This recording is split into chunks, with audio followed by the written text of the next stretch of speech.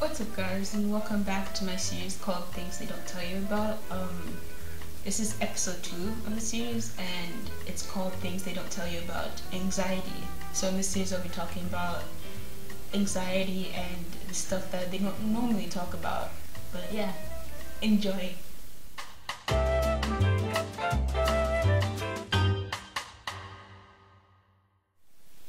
So anxiety itself is not a medical condition, but a natural emotion that us humans have.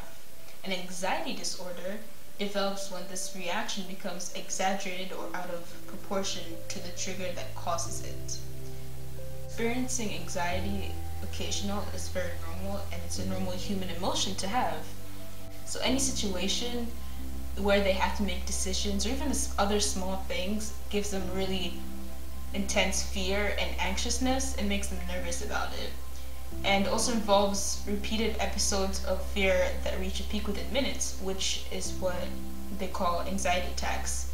And they can sometimes occur unexpectedly for no apparent reason, but they can also be linked to specific tr triggers that makes the person feel that way.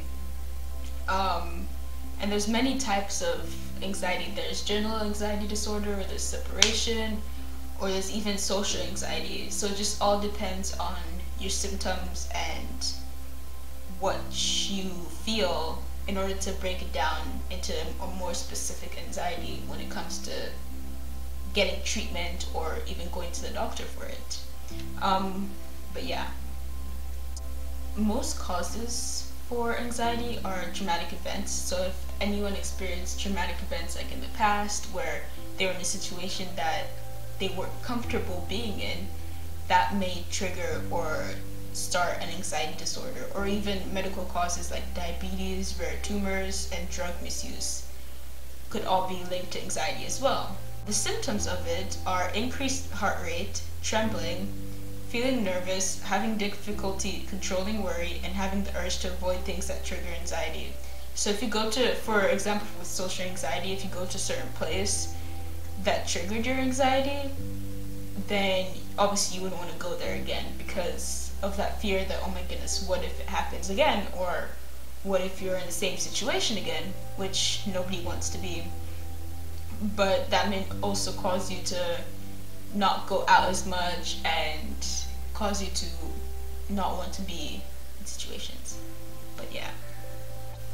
There are many different types of treatment you could get because even though it's not completely curable, you can find ways to cope with it. So like getting doing exercise or getting enough sleep or even going and talking to a therapy or to a trusted adult or someone you trust with your emotions and not keeping it inside and bottling up all emotions because that will make it worse and that will cause even more anxiety or even other stuff that it could lead to which nobody wants. So like talking to someone about how you feel and what emotions you're having is very helpful and can help a lot. Hence why people go to therapy as well.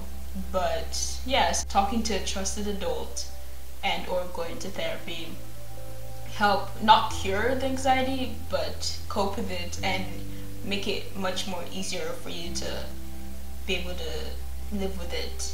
Yeah. So, the things they don't tell you about anxiety is people with anxiety have short-term memory loss. That is the one thing that I am just now hearing, even myself, is that people with anxiety have short-term memory loss. Which is very relieving to know because, like, for instance, for me, yes, I have anxiety and I tend to forget things a lot. And I always think that, oh my gosh, it's a problem with my brain because I have really bad memory.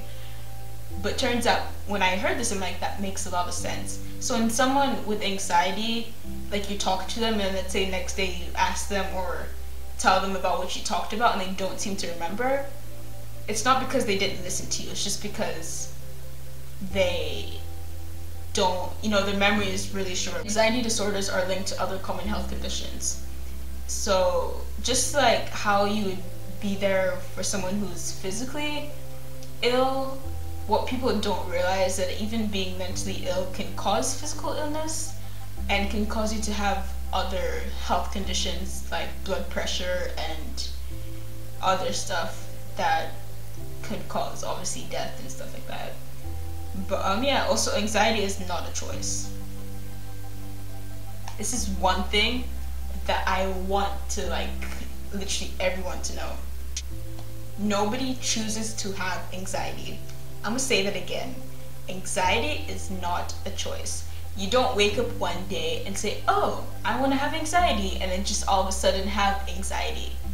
It's not how it works.